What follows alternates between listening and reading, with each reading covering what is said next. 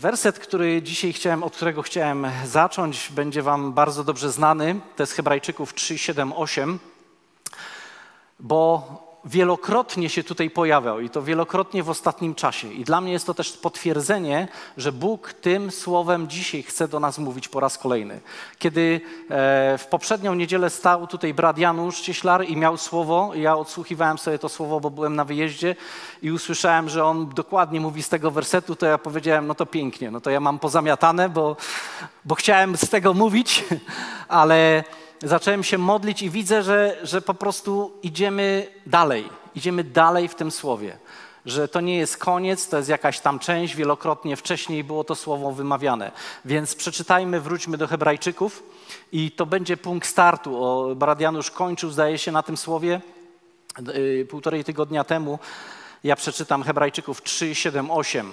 I tam są zapisane bardzo mocne słowa. Dlatego, jak mówi Duch Święty – jak mówi Duch Święty. Więc znamy autora.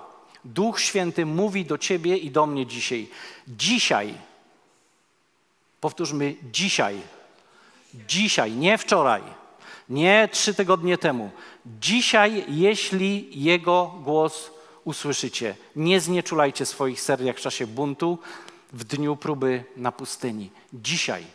Co mi to mówi? Że musimy walczyć o słowo dzisiaj, o świeże słowo. Wiecie, ja tak spojrzałem w sobie, ja tak naprawdę jestem cały napakowany jakimś słowem, które było i kiedyś tam i ktoś powiedział, i ja coś przytoczyłem, ale zdaję sobie sprawę, że my potrzebujemy dzisiaj, dzisiaj świeżego słowa. Dzisiaj, bo ono tylko ma moc przemieniać i po, po, po, posyłać nas dalej. I czasami się ktoś może zastanawiać, no dobrze, ale jak dzisiaj? No, no wszystko już jest zapisane, już wszystko wiemy, już wszystko pastor powiedział, starsi powiedzieli, Biblię żeśmy przeczytali, ale Duch Święty mówi dzisiaj. I pierwsze pytanie, które musimy sobie zadać, czy Bóg, czy ja uznaję, że Bóg dzisiaj chce do mnie mówić? Bo może wydaje nam się, że no mamy już wszystko teologicznie poukładane, nawet życie żeśmy oddali i tak dalej. Co nowego może się pojawić jeszcze? Ale Bóg, kiedy będzie mówił dzisiaj, to On będzie mówił dla Ciebie i dla mnie nowe rzeczy. Więc czy Bóg dzisiaj do mnie mówi? To jest pierwsze pytanie dla mnie i dla Ciebie. Pytanie, jak mówi? Wiecie, gdybyśmy poszli gdzieś do ludzi spoza kościoła i powiedzieli, wiecie co, albo wiesz co, powiedział mi Bóg, no to wiecie, komentarz byłby różny. Bóg mówi z tobą, tak, naprawdę chłopcze, tak, mówi, rozmawiasz z Bogiem, fajnie jest, tam jest apteka weź jakieś tabletki, ale my wiemy, że Bóg jest realny. I jak mówi Bóg? I to też musimy sobie ułożyć w naszej teologii, że On mówi w różny sposób. Oczywiście Jego słowo jest spisane, objawione, to jest pierwszorzędne miejsce, gdzie możemy szukać słowa dzisiaj, tego dzisiaj. Ale Bóg może mówić przez okoliczności do nas. Bóg może mówić przez, yy, e, przez braci wierzących, innych przez zupełnie rzeczy zewnętrzne. Brat Janusz zdaje się powiedział, że może mówić przez myśli, czyli Duch Święty, który jest w nas, będzie poddawał nam myśli. Wiele jest sposobów, żeby Bóg mówił do nas. Ważne jest, żeby to było dzisiaj, żeby to było świeże. I pytanie kolejne, czy Bóg mówi do mnie? Może wystarczy, jak będzie mówił do kogoś innego?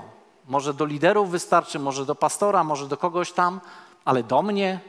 Wiecie, wiele jest takich sytuacji, wiele było takich sytuacji, kiedy lud cofał się od tego, żeby z Bogiem rozmawiać. Pamiętacie, kiedyś tu była przytoczona historia, kiedy Mojżesz szedł na górę Synaj i tam byli zaproszeni wszyscy, ale oni się cofnęli. Powiedzieli: Mojżeszu, idź ty, idź przynieś nam wieść od Boga. My nie chcemy rozmawiać. I owszem, to był Stary Testament, ale możemy gdzieś znaleźć w czasach Nowego Przymierza takie postawy, że nie będę szukał słowa dla siebie dzisiaj, wystarczy mi to, co usłyszę od innych, to, co będzie w nauczaniu, to, co będzie w niedzielę, to, co będzie we wtorek. I ostatnie pytanie, czy ja to słowo przyjmuję? Czy ono ma możliwość wykonywania w nas pracy? Czy to jest słowo, które, wiecie, wchodzi z lewej i wychodzi z prawej? Które jest owszem ładne, mądre, ale co z nim zrobić w życiu? Słowo, które do nas przychodzi dzisiaj, ono musi wykonywać w nas pracę. Więc otwórzmy Izajasza 55 rozdział 10-11 i tam są słowa, które też znamy, gdyż jak deszcz i śnieg spadają z nieba i już tam nie wracają, ale nawadniają ziemię, czynią ją urodzajną, czynią ją kwitnącą, dają siewcy ziarno, a jedzącemu chleb, tak jest z moim słowem, które wychodzi z moich ust. Widzicie, ono stale wychodzi z ust. Nie wraca do mnie próżno, lecz wykonuje to, czego pragnę, spełnia pomyślnie to, z czym je wysłałem. A więc słowo, inne tutaj czytamy, że ono wychodzi z moich ust, inne tłumaczenia podają, stale wychodzi z moich ust. Więc słowo, które wychodzi z ust Boga, ono jest przyrównane tutaj do czegoś. Do czego jest przyrównane? Do nawadniania. Szczególnie to jest mocne, y, y, jak gdyby mocne określenie w dzisiejszych czasach. Wiecie, jak ziemia jest spieczona. Jak to wszystko trzeba podlewać wielokrotnie, sami podlewamy w ogrodzie, bo nie ma wody, jest spieczona ziemia. I ono nawadnia ziemię, ono będzie nawadniać Twoje życie. Jeżeli to życie będzie spieczone, wyschnięte, jeżeli ono będzie, wiecie, w kiepskim stanie, to Bóg obiecuje, że słowo dzisiaj, że słowo dzisiaj będzie nawadniało, będzie czyniło ją urodzajną. Nie tylko nawadniało. Nawadnianie ma sens. Potrzeba jest urodzaju. Będzie czyniło ziemię urodzajną, będzie czyniło ziemię kwitnącą. Nasze ciało może być kwitnące, jeżeli przyjdzie słowo dzisiaj, które będzie nas nawadniać. W końcu daje się w ziarno, co znaczy, że będzie owocowało, że nie będzie tylko ładnie wyglądało, ale że przyniesie realny owoc. Owoc do Twojego i do mojego życia, a jedzącemu da chleb. Amen. I to jest mocne. To jest mocne, bo słowo dzisiaj będzie dawało chleb dla ciebie i mnie. Więc pytanie jest nie, czy Bóg mówi, ale pytanie jest, czy ja słyszę Jego głos. Nie, czy Bóg mówi. Wiecie, parę dni temu w Cisownicy czy w Lesznej było piękny koncert pod gołym niebem na górze tam e, uwielbienia organizowany w Dzięgielowie i pastor Arek Krzywodajś tam usługiwał słowem i Dzielił się tam króciutkim takim świadectwem, kiedy, że kiedy był małym dzieckiem i chodził na religię, no to tam wszystkie historie, oczywiście to było w tradycyjnym, jednym z tradycyjnych kościołów, wszystkie historie tam były omawiane i on zadał e, pani, która to prowadziła, pani katechetce pytanie, no ale czemu te rzeczy, o których tu czytamy jako dziecko, nie wydarzają się dzisiaj? Ona tak była skonsternowana, nie wiedziała odpowiedzi, no wiesz, no bo to tam byli apostołowie, ale oni poumierali i się skończyło. I to jest wytłumaczenie religii, jeżeli nie ma słowo dzisiaj. My wiemy, że się nie skończyło, bo Bóg żyje i On ciągle chce mówić do ciebie i mnie. Dlatego my potrzebujemy z tego słowo, słowa dzisiaj. Dlaczego go potrzebujemy? Do życia, do mocy i do pobożności. Przypomnę historię króciutko z księgi Jozłego, kiedy Jozue jako młody y, kapłan wybrany przez Boga został posłany do ziemi obiecanej. I wiecie, przed nim stanęło ogromne zadanie do wykonania, ponadnaturalne. Był niesforny Izrael, niesforny lud i silnie ufortyfikowana ziemia, nazwana ziemią obiecaną. I Bóg mówi: idź, zdobądź tą ziemię. Wiecie, człowiek by się dziesięć razy zastanawiał, czy dobrze słyszy. Ale Jozue też usłyszał głos od niego. To było Jozue 1,5 zapisane. I tam jest, nikt się przed Tobą nie ostoi. Po wszystkie dni Twego życia, mówi Bóg do Jozłego, jak byłem z Mojżeszem, tak będę z Tobą, nie porzucę Cię i nie opuszczę. W tej sile tego słowa mógł Jozue iść. On wiedział, że to, co jest w oczach nie do wykonania, to nie on będzie wykonywał, ale Bóg jest, który jest z nim. Inny przykład, kiedy a patriarcha Jakub, kiedy wracał od Labana już do siebie, do swojej ojczyzny, usłyszał słowo idź, wróć, wróć do, wróć do swojego domu, do swojej ziemi. I to wygląda fajnie, że wróć do ziemi i tak dalej, ale on wiedział, co go tam czeka. Tam jego brat czekał, Ezaf, który obiecał, że go zabije kiedy tylko wróci, że go zabije, no za to wszystko, co się wydarzyło. I Bóg mówi, wróć do ziemi. No więc, wiecie, to tak fajnie, fajnie się czyta tą historię, ale tą dramaturgię musimy zobaczyć w słowie. I stąd ta historia, kiedy on zaczął się siłować z aniołem. I powiedział: Nie wrócę, dopóki mi nie pobłogosławisz. Wiecie, ja tą historię wielokrotnie czytałem i wydawało mi się, no, chciałbym mieć taki tupet, jak miał Jakub, że tak się dopomagać i powiedzieć Bogu, jak mi nie pobłogosławisz, to nie ruszę stąd. Ale to nie o to chodziło. On miał słowo obietnicy. On, kiedy wychodził z domu, to Bóg mu mówił: Ja ci będę błogosławił, jak będziesz ze mną. I on dokładnie na to słowo się powoływał. Nie, że był e, zuchwały, nie, że był e, przemądrzały. On wiedział, że słowo Bóg wypowiedział że Bóg wypowiedział słowo i teraz się mocuje, żeby ono zaistniało, żeby ono weszło w życie, żeby Panie, przecież powiedziałeś, nie ruszę się stąd, dopóki mnie nie pobłogosławisz. Wiecie, o takiej determinacji do szukania słowa mówię. I myślę, że, że wiele byśmy się też mogli uczyć od naszych dzieci, bo to jest chyba najlepszy przykład, że jeżeli my coś powiemy, to one nas z tego słowa rozliczą. I parę dni temu byłem u dentysty z moją wnuczką i wiecie, dziadka bardziej bolało siedzącego na fotelu to, co się działo, niż, niż to dziecko, więc powiedziałem, słuchaj, jak to przeżyjesz, jak w tego, to dziadek ci kupi balona dodatkowego, żeby już, wiecie, była nadzieja. No i wszystko się dobrze skończyło. E, wyszliśmy od tego dentysty. Wiecie, jakie były pierwsze słowa? Dziadek, ale pamiętasz? Ale pamiętasz? Oczywiście, że ja pamiętałem, ale wiecie, kiedy przyjdziesz i przypomnisz, Boże, ale Ty powiedziałeś, Boże, ja się powołuję na Twoje słowo. Boże, Ty powiedziałeś, że pójdziesz ze mną, że będziesz ze mną, że będziesz mi błogosławił. Bóg tego oczekuje, tak jak my oczekujemy od naszych dzieci. A więc, kochani, wiemy, że Bóg mówi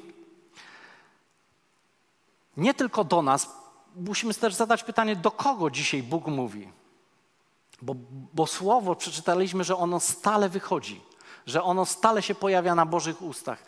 I teraz do kogo Bóg mówi? Bóg mówi do rzeczywistości, nieprzerwanie. O co mi chodzi? Inne, inne miejsce mówi, że ten świat jest podtrzymywany mocą Jego słów. Gdyby słowo przestało płynąć, to ten świat jak i tak kiedyś przestanie istnieć, ale to by było właśnie wtedy. Bóg mówił do rzeczywistości, Jezus mówił do rzeczywistości. Kiedy był na łodzi i spał i była burza, to wiecie, on się nie patyczkował, on po prostu zaczął mówić do tej burzy. On nie mówił, ojcze, teraz powołuje się na coś, bo on znał rzeczywistość nieba, która była w nim. On mówi, ucisz się. On nie był wielo, wielomówny w modlitwie. Zresztą nas też za, zachęca słowo, żebyśmy nie byli gadułami w modlitwie, żebyśmy wiedzieli, co mamy powiedzieć, wypowiedzieć rzeczywistość. Jeżeli była choroba, to on mówi wyjdź, czy demony, to on mówi wyjdź. Więc Bóg mówi do rzeczywistości. Bóg mówi też do swojego ludu. On wiele wypowiedział do swojego ludu. Co mam na myśli? Obietnice, słowa zachęty. Tego jest multum. Biblia jest pełna tych Ktoś kiedyś liczył Boże obietnice. Ja nie jestem w stanie wymienić tej cyfry, ale jest tego ogromnie dla Bożego Słowa, dla Bożego ludu. To znaczy dla Ciebie i dla mnie. Boża obietnica. Pytanie, czy my chwycimy tą Bożą obietnicę? Czy my mu przypomnimy, jeżeli widzimy, że ona nie funkcjonuje? I Bóg chce mówić osobiście do nas. Spersonalizowanie do nas. Do mnie, do Ciebie dzisiaj. I właśnie o tym słowie mówię, że dzisiaj Jego głos potrzebujemy słyszeć. Osobiście. My wiemy, że są obietnice, my wiemy, że są cudowne plany Boże, my wiemy, że jest cudowne dziedzictwo, to jest wszystko prawda, ale słowo do nas, do nas osobiście. I o tym dzisiaj, dzisiaj chcę mówić. Bardzo precyzyjne. Wiecie, przypomina mi się taka historia, kiedyś mój przyjaciel.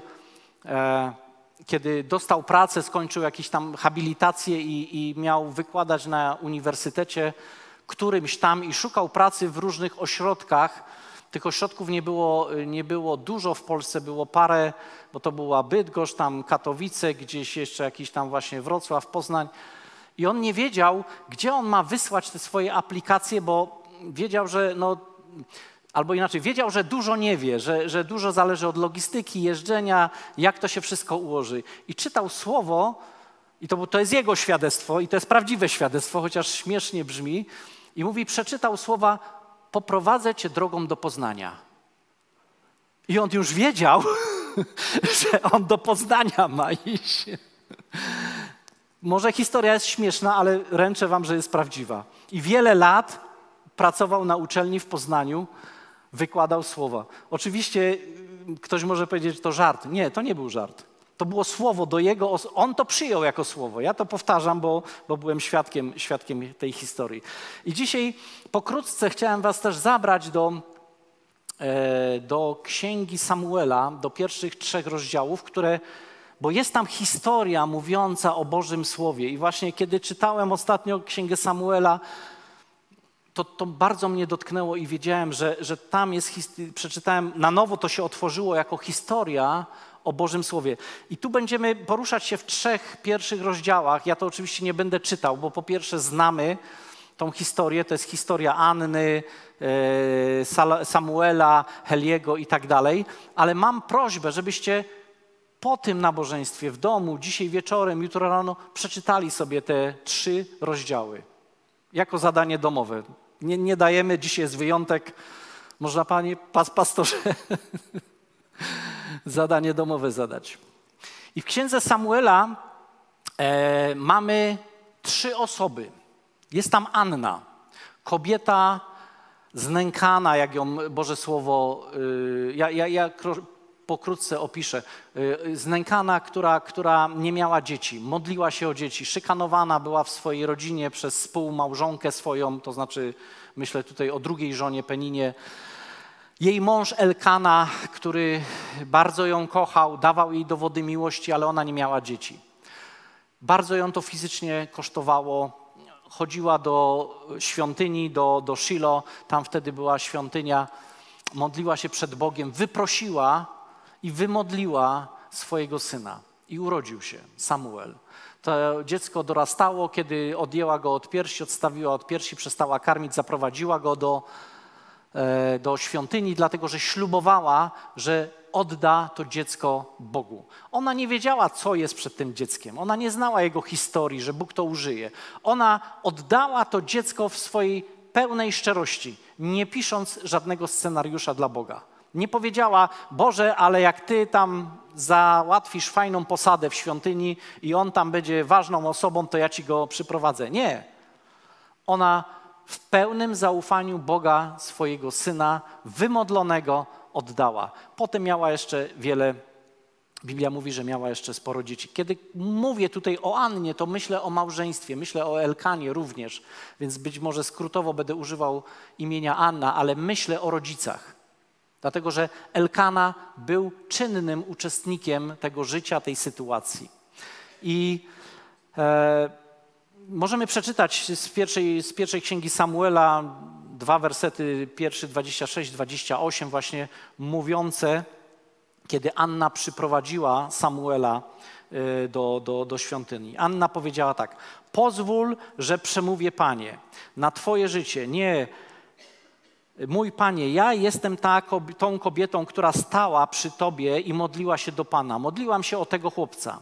Pan ziścił moje pragnienie, które, którego spełnienia od niego oczekiwałem, oczekiwałam. A teraz ja chcę uczynić tego chłopca spełnioną prośbą pana. Po wszystkie dni, dopóki będzie żył, niech będzie tym wyproszonym dla pana. A potem pokłoniła się panu.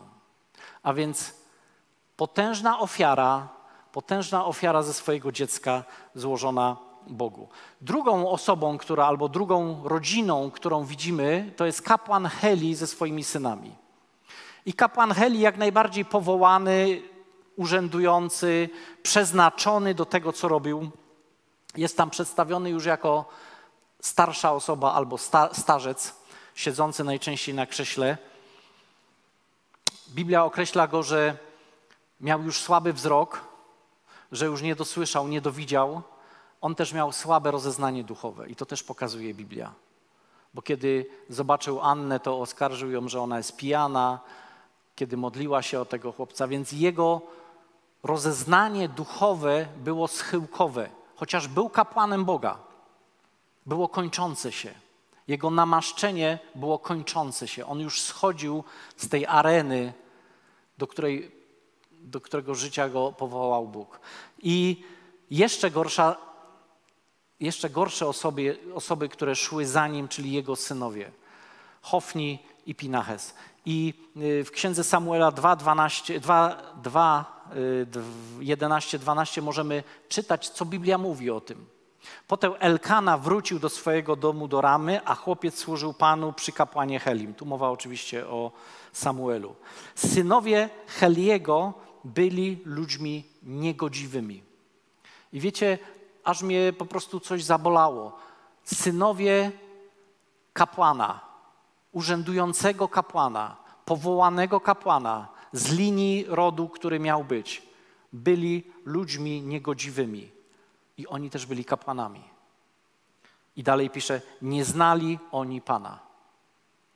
Więc sytuacja wręcz tragiczna w tej świątyni, bo kapłanami są ludzie niegodziwi. Co to znaczy, że człowiek jest niegodziwy? Wiecie, człowiek niegodziwy to jest jeszcze gorzej niż człowiek głupi. Dlatego, że głupi nie rozeznaje dobra i zła. Głupi jest, nie zna dobra. Być może kiedyś pozna i jest dla niego szansa. Człowiek niegodziwy to jest ktoś, kto poznał zło i poznał dobro i wybrał zło. To jest jeszcze gorsze, bo już nie ma, z, tego, z tego już nie ma powrotu. A więc kapłanami w tej świątyni byli synowie Heliego, ludzie niegodziwi. Dodatkowo skrzynia Bożej obecności została stracona w boju, zabrali ją Filistyni. Więc generalnie to jest kontynuacja e, Księgi Sędziów, o której już też w poprzednich razach mówiłem. Sytuacja jest marazm, dramat, to co się dzieje w narodzie izraelskim. I na, na, na, takim, na takim teatrze działań pojawia się mały Samuel, który został przyprowadzony, który wzrastał, który jako dziecko dopiero zaczął poznawać, dopiero się uczył. Wiecie, dotknęło mnie to, że Anna nie weryfikowała kapłana. Nie mówiła, o, do dobrego kapłana go zaprowadzę, a do złego Heli. No, on nie miał dobrych notowań. Wszyscy o tym wiedzieli. On nie miał dobrych notowań u ludu. Jednak dla Anny to nie kapłan, tam był Bóg. I Bóg sobie da radę nawet w tej sytuacji.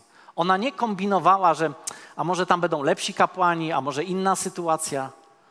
To, to nie była jej odpowiedzialność. My czasami próbujemy kombinować, wiecie, a bo gdyby ktoś inny, a to, no to tam bym poszedł, a tam bym nie poszedł, a może gdyby ktoś większe namaszczenie, to tam pojadę. Nie szukaj tego, tak, szukaj Boga. Więc y, 1 Samuel 3:1 werset opisuje to tak. Chłopiec Samuel posługiwał Panu przy Helim. Słowo Pana, i teraz to kluczowe słowo, które mnie dotknęło. Słowo Pana było w tych czasach rzadkością, a widzenia też nie były częste. I wiecie, kiedy to prze, prze, przeczytałem, to przypomniałem sobie, że jest parę miejsc w Biblii, że słowo Pana było rzadkością. Ale pierwsze skojarzenie, które przychodzi nam, no cóż, no, czasami są takie pory, nie? Czasami jest pora suszy, czasami jest pora obfitości, czasami Bóg chce mówić, a czasami nie chce mówić, a czasami e, nie ma interesu może, żeby Bóg mówił. I jest czas posłuchy słowa. Tak jakbyśmy zwalali to, czy Bóg mówi na Boga. A to jest kłamstwo. Dlatego, że wcześniej czytaliśmy, czytaliśmy, że Bóg stale mówi, słowo stale wychodzi. Chęcią Boga jest stale mieć kontakt ze swoimi dziećmi. Każdego dnia. Dlatego dzisiaj, nie wczoraj, nie, nie bazujemy na tym, co było wczoraj, ale dzisiaj, a jutro będzie znowu nowy dzień. Więc, ale jest napisane, że słowo było rzadkością. No i pierwsza myśl, no cóż, takie trudne czasy. Ale to, co chcę dzisiaj powiedzieć, że Bóg nawet w tej sytuacji nie zasnął. On się nie zdrzemnął, on się nie wycofał z tego, co chciał robić, dlatego że Bóg stale czyni swoją wolę i nie ma niczego, co mogłoby go z niego wybić, nawet nasze nieposłuszeństwo. Nawet nieposłuszeństwo kapłana Heliego czy, czy niegodziwość jego synów. Bóg nie mówił w tej sytuacji, bo nie miał z kim rozmawiać. I to jest problem. Bóg chce rozmawiać z nami. Tylko czy my jesteśmy gotowi, żeby się dopomagać, szukać i poszukiwać Bożego głosu? Bóg nie mówił, bo nie miał z kim rozmawiać. I tu jest problem, a nie Bóg nie mówił, że nie chciał mówić. Nie było słowa, bo nie było biorcy słowa. Nie było kogoś, kto by się dopominał, kto by szukał słowa dzisiaj. Dlaczego tak twierdzę? Dlatego, że parę wersetów dalej, w tym samym rozdziale, w tej samej sytuacji, dokładnie parę wersetów dalej, możemy czytać słowa zapisane 1 Samuel 3:21. Pan zaś nadal ukazywał się w Shilo, w świątyni. Objawiał się Samuelowi w swoim czym? W słowie. A czytaliśmy, że przed chwilą było słowo rzadkością. A on się objawiał w swoim słowie, w słowie Pana. W, dalej czytamy 4:1, a słowo Samuela docierało do całego Izraela. Więc nie tylko, że Bóg zaczął mówić do kogoś, do kogo miał mówić, nie tylko, że Bóg zaczął mówić do kogoś, kto go słuchał, kto poszukiwał jego głosu, ale on jeszcze przez niego zaczął mówić do wszystkich innych. I taki jest nasz Bóg, że on chce mówić nie tylko do nas, ale chce mówić poprzez nas. Nie tylko mówić do stworzenia, nie tylko mówić obietnice do swojego ludu, które są cudowne, ale chce mówić dzisiaj, dzisiaj, dzisiaj do ciebie i dzisiaj do mnie. Ale kiedy nie ma biorcy, kiedy nie ma kogoś, kto by słuchał tego słowa, to ktoś z zewnątrz powie, ale słowo jest rzadkością. Dzisiaj już Bóg nie mówi. Apostołowie poumierali, no i kto ma dzisiaj mówić? Więc tak tworzy się pokolenie religii. A my szukamy żywego słowa, żeby nie stawało się rzadkością, ale każde dzisiaj, każdego dnia dzisiaj na nowo wychodziło, kiedy z, nasz, y, z Bożych ust. Kiedy ty i ja zadowolimy się tym, co już znamy, tym, co już żeśmy poznali do tej pory. Kiedy ty i ja stwierdzimy, że my już wszystko wiemy i przeczytaliśmy wszystkie historie, to będzie właśnie ten moment, że Bóg przestanie do nas mówić. Ale nie dlatego, że On nie chce, ale że my nie oczekujemy świeżego słowa z nieba. I niech nam się nie przydarza sytuacja Mojżesza, który, który, który miał wejść na świętą górę z ludem, a poszedł sam, bo nie było biorcy, bo się wystraszyli, bo powiedzieli: Ojejku, straszne pioruny idą strasznie krzmi. Najbardziej zadowolony w takiej sytuacji jest diabeł, że może postawić tamę Bożemu Słowu, które płynie do nas. A więc nowe słowo na dziś potrzebujemy jak manny z nieba. I manna jest często w Biblii porównywalna ze Słowem Bożym. Często jest y, to ten przykład opadającej manny. I to jest cudowne porównanie, że Boże Słowo opada, że ono przychodzi, że ono jest każdy, każdy, każdy poranek świeży, tak? Ale pamiętajmy, że jest też czas, kiedy Bóg zatrzymał mannę i powiedział: Ale teraz moi synowie i moi, moje córki, ściągnijcie słowo dla siebie. Zacznijcie siać, zacznijcie zbierać, zacznijcie czynny udział mieć w tym, żeby ono przyszło do Was. Zacznijcie się dopomagać, do, domagać. Rozumiecie mnie o co chodzi, że, że jest czas manny w Bożym Słowie, ale jest czas dojrzałości w kościele, dojrzałości w życiu, kiedy ty, nie mając tego słowa, nie powiesz: Ojej, ale dzisiaj nic nie spadło, dzisiaj nie ma manny. Ale ty zaczniesz się modlić, żeby otworzyć niebo nad swoim życiem, żeby to słowo dzisiaj spłynęło. Ty zaczniesz czytać i powoływać się, Boże, ale ja dzisiaj chcę coś, czegoś świeżego. To jest rola wzrostu, którego Bóg oczekuje w moim i w Twoim życiu. To jest rola wzrostu, którego Bóg oczekuje dzisiaj w Kościele, aby wzbudzało się pokolenie, które będzie pragnęło i domagało się tego słowa i otwierało, modliło się o otwarte niebo, a nie tylko oczekiwało manny, że ono, wiecie, manna, ja bym to tak określił taki okres dziecięcy. Pełne zaopatrzenie. Wiecie, jak mamy dzieci, mamy wnuki, to wiemy, że w zasadzie one niespecjalnie muszą cokolwiek robić, ale tu już mają śniadanie przygotowane, tu ubranka poskładane, tu tornister do szkoły, wszystko, wszystko. Ale przychodzi czas, kiedy zaczynasz być dojrzałym człowiekiem. Kiedy musisz wybrać, jaka praca, ile czasu przeznaczyć, ile czasu na to, ile czasu na tamto, jaki budżet masz. Wiecie, w skarbonce jak braknie, to się idzie do taty i mówi: Tata daje. Bóg czasami nas też zachęca, powie, żeby tata daje. A więc to, to, to, było, to była dygresja na temat manny. Ale chodzi mi o to, że kiedy jesteśmy ludźmi wierzącymi, nie możemy iść na słowie poprzednich pokoleń. Nie możemy iść na słowie, które było wczoraj. My musimy zdobyć słowo na dzisiaj. Dla mnie, dla mojego życia, dla mojego domu, dla mojego kościoła, dla mojego zboru. To, co było wczoraj, było cudowne. Ono było pożyteczne, ale ono dzisiaj wymaga aktualizacji. I poprzez nowe słowo, które musi być jak gdyby zaabsorbowane przez nas, my musimy wzbudzić, i to jest teraz ważne, my musimy wzbudzić pokolenie. Dlatego, że jest ryzyko, że jest pokolenie może być dziedziczne. I teraz chciałbym, żebyście mnie dobrze zrozumieli. Wiele osób rodzi się w kościele na zasadzie, że chodzą z rodzicami, bo wiesz, oni zawsze chodzili, oni byli zawsze już od szkółek najmłodszych, od grupy 00, aż przez zasiedziałość są w kościele.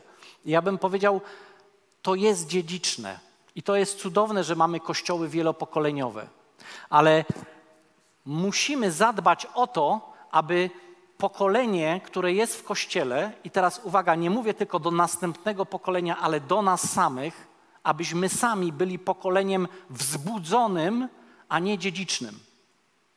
Bo to, to nie jest uzależnione od wieku. Ja się dziękuję, Jael, że, że cudownie uwielbiałaś dzisiaj. Dziękuję, że byłaś za nas zachętą. Bardzo jestem zbudowany, kiedy było nabożeństwo niedzielne, kiedy wielu młodych ludzi dzieliło się swoimi świadectwami. I to jest to, że myślimy następne pokolenie, ale niech nas to nie uśpi, bo my też jesteśmy pokoleniem. I żeby wzbudzić kogoś, to my musimy być sami wzbudzeni. Bo jeżeli my sami jesteśmy dziedzicznym pokoleniem, to nikogo nie wzbudzimy, tylko będziemy przyprowadzić kolejnych drzemiących w kościele. Zgodzicie się z tym? Więc to jest wyzwanie w pierwszej kolejności dla osobistego życia, abym ja był pokoleniem wzbudzonym, a nie pokoleniem dziedzicznym. To jest wyzwanie dla moich dzieci i to jest wyzwanie dzisiaj stojące przed Kościołem, żeby w czasach, które się zbliżają, które są i każdy wie, że one są coraz trudniejsze i nawet pogoda nam daje od, od tego znaki, że ona coraz bardziej zaczyna nam doskwierać, żeby w sytuacji nie było pokolenia w Kościele, które jest pokoleniem uśpionym, ale żeby to było pokolenie, które jest wzbudzone poprzez słowo, które jest na dzisiaj. Bo tylko taki Kościół będzie mógł realizować Bożą wolę. Bo tylko taki wierzący będzie mógł realizować budowanie Bożego Królestwa i realizować powołanie, które jest nad nim. I kochani, dotknęło mnie w tym właśnie, w tych trzech rozdziałach, że zobaczyłem kapłana, który schodzi ze swojej służby bardzo, no, z nieciekawą historią i dwa pokolenia, które stały za nim. Pokolenie, które się wychowało w kościele, przepraszam, w świątyni, bo mówię teraz o Helim. Pokolenie jego synów, które się wychowało w tej świątyni. Ja nie znam historii, bo to nie jest opisane, ale zakładam z dużą dozą, y, dozą prawdopodobieństwa, że ci synowie się wychowali w tej świątyni że kapłan Heli, który tam siedział od rana do wieczora i tak dalej, a oni jako tam dzieci, wiecie, biegały koło tego namiotu, może coś pomagały, może nie, rozrabiały, ciągle tam były, wychowały się. I to jest pokolenie, które się wychowało w tej świątyni. I drugie pokolenie, reprezentowane przez Samuela, które zostaje przez Boga wzbudzone. I ono też trafia do tej świątyni. I chwała Bogu, bo ono jest nadzieją że Bóg może dalej realizować swoje rzeczy. Pokolenie Samuela, które jest wzbudzone przez Boga. Ale to, nie, to jest tylko pół prawdy, muszę powiedzieć, bo Bóg wzbudził Samuela. Ale Samuel nie spadł, wiecie, z, z czereśni nagle, sam. Tam było pokolenie rodziców, które wzbudziło i przygotowało tego Samuela. Tam była matka, która się modliła, kiedy jeszcze jego nie było na ziemi. Tam była matka, która pościła przed Bogiem i wołała o swoje dziecko, a kiedy przyszedł na świat, to ona go ofiarowała, nie wiedząc, jaka będzie jego historia. Tam była matka, która była zary gotowa zaryzykować wszystko, żeby ten synek, który powstał, który się urodził, służył Bogu. Czasami nam się wydaje, że rzeczy przychodzą gotowe. Bóg ma moc nawet spuścić Samuela z nieba, ale tego nie czyni, dlatego że on wzbudza nowe pokolenie. Więc, e, kochani, to jest takie zachęcenie dla siebie, żebym ja był tym wzbudzonym, nie tym dziedzicznym, żeby moje dzieci były tymi wzbudzonymi, niedziedzicznymi i żeby każdy, kto zasiada w tym kościele, był pokoleniem wzbudzonym przez Boże Słowo, osobistym, które przychodzi dzisiaj. Dlatego, że potrzebujemy świeżości. Nie możemy się opierać na tym, co już było. Nie możemy opierać się na tym, co poprzednie pokolenia zrobiły. Wiecie, ile tych pokoleń było i każde miało swoją świeżość. Tutaj na ziemi cieszyńskiej, czy, czy, czy księstwa cieszyńskiego i tak dalej, słowo Boże jest głoszone ponad tysiąc lat. Ja ostatnio sobie uświadomiłem, że nie było jeszcze chrztu polskiego, a Słowo Boże było na tutaj w rejonach Wisły, Nytku i tak dalej, to mówi historia, już głoszone. Już chodzili, jeszcze nie było chrztu. To jest na, inną, na inny czas, ale to jest fakt historyczny.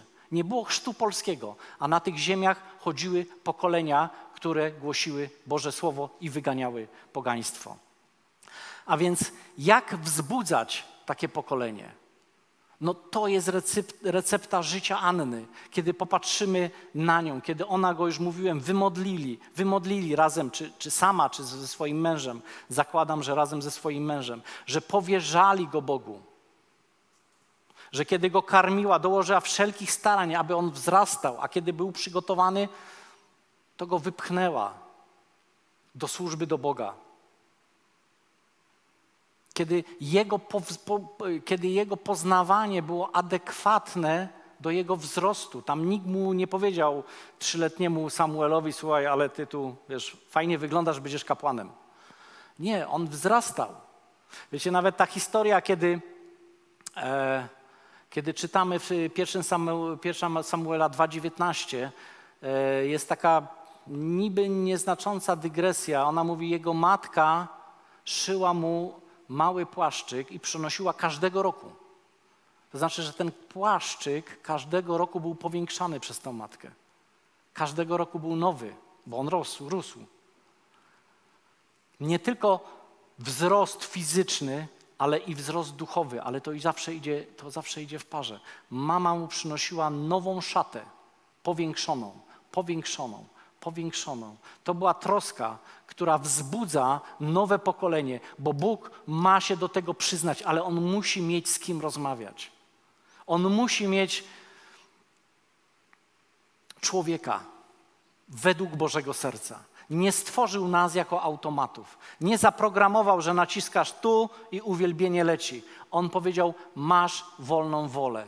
Ty decydujesz. Ty decydujesz, co ze swoim czasem zrobić, ty decydujesz o swoim zaangażowaniu w kościele, ty decydujesz, kiedy siedzisz w ławce, gdzie twoje myśli płyną, i ty decydujesz, kiedy jest uwielbienie, czy myślisz o kotletach, które są na obiad, czy masz świadomość, że stoisz przed żywym, prawdziwym Bogiem, który jest tu i teraz. Amen. Więc, kochani, jak ważne jest to, jakie, jakim samym pokoleniem my jesteśmy, jakie wzbudzamy po sobie. Czy pokolenie dziedziczne, czy pokolenie wzbudzone. Bo to wielka różnica, bo powołanie to jest jedna rzecz, ale praca Boża wykonana, aby powołanie zaczęło żyć, to jest zupełnie inna sprawa. Jeżeli jesteś powołany do jakichś rzeczy, to jest cudownie, ale musisz też wykonać pracę, żeby się w tych rzeczach odnaleźć. Jeżeli będziesz, nie wiem, teraz przykład taki, powołany do jakiejś pracy w kościele, to to jest jedna rzecz. Namaszczenie, które przychodzi od Boga, to jest druga rzecz, ale, druga rzecz, ale musisz wykonać pracę związaną tym. Nie możesz siedzieć i powiedzieć, Boże, czy już to namaszczenie na mnie spadło, czy, czy jeszcze nie? Czy już mam startować, czy nie? Bóg szuka serca, które szuka Boga. Które szuka Boga. Więc Anna, jako rodzice, jako matka, była kobietą wiary. Wiecie, to, to może nie wynika wprost, ale, ale możemy przeczytać tutaj. Yy, pierwszą Samuela, zerknijmy jeszcze do pierwszego rozdziału, y, może tylko 18, 18 werset, końcóweczkę. Czyli pierwszy Samuela, pierwszy rozdział, 18 werset. I ona, słuchajcie, stoi przed, wtedy kiedy jeszcze nie miała dziecka, stoi przed tym kapłanem Heli i, i modli się oczywiście do Boga. E, kapłan Heli ją tam pod, po, po, po, potraktował właśnie tak, jak żeśmy mówili, że no proszę nie pij więcej, jak tu przychodzisz ale to zostawmy bo, e, bokiem. Ale tam jest ciekawe zdanie. Oby Twoja służąca znalazła łaskę w Twoich oczach, odpowiedziała Anna. Heli ją pobłogosławił w końcu.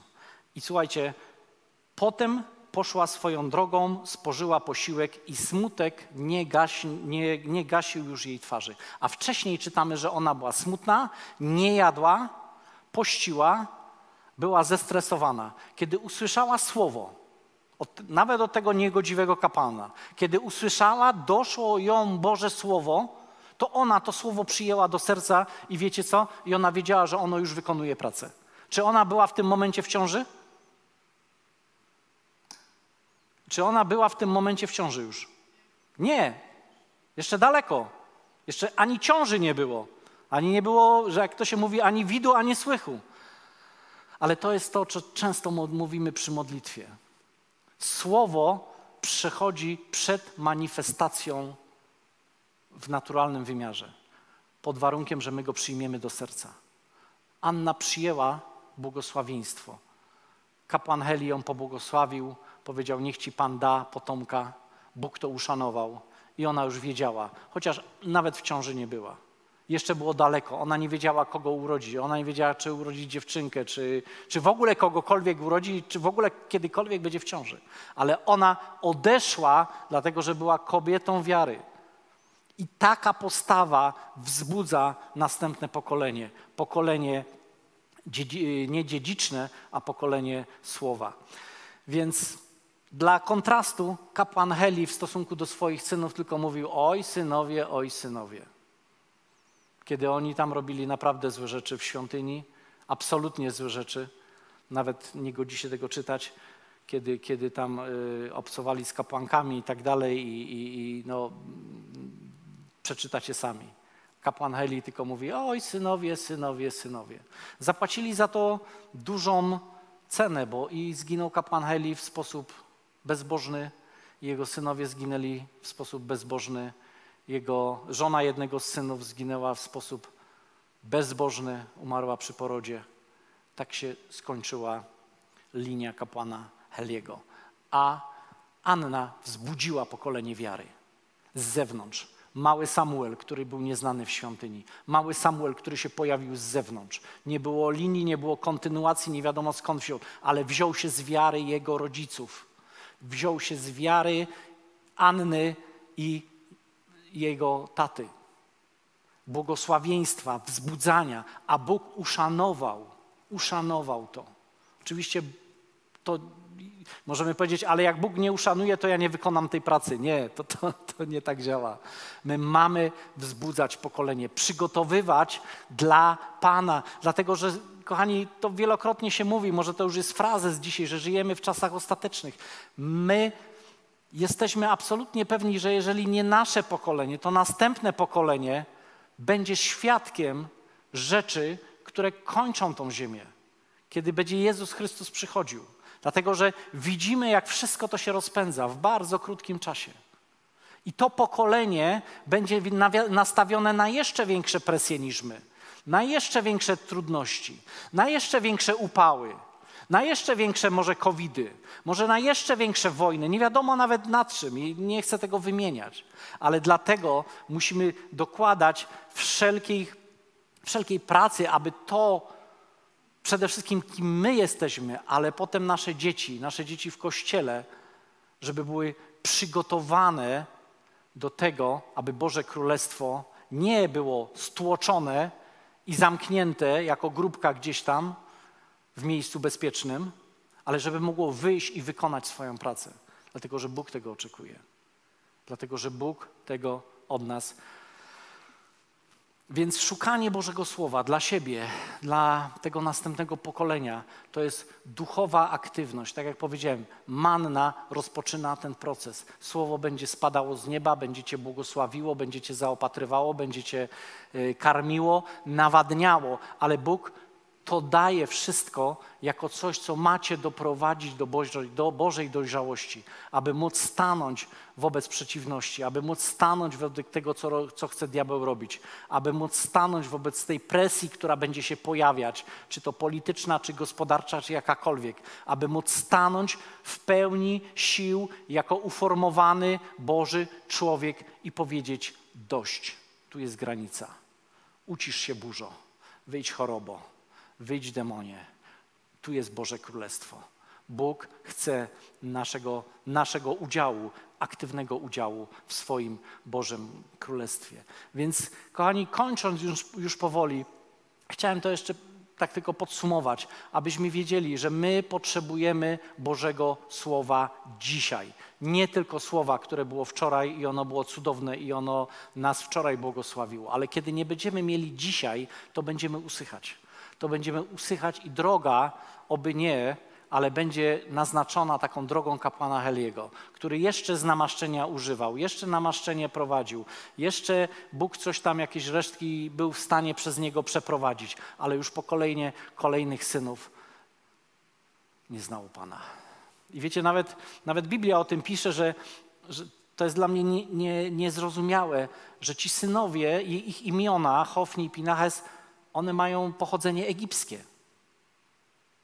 Imiona synów kapłana Heliego ma pochodzenie egipskie. To wyobraźcie sobie, Bóg, który jest zazdrosny, który przez, e, przez imię czytamy, że każde imię określało Bożego człowieka, co to znaczy, tam powołany, miła Bogu jako Anna i tak dalej. I kapłan urządujący w świątyni czerpie sobie właśnie z tego, co mu Egipt tam dostarcza.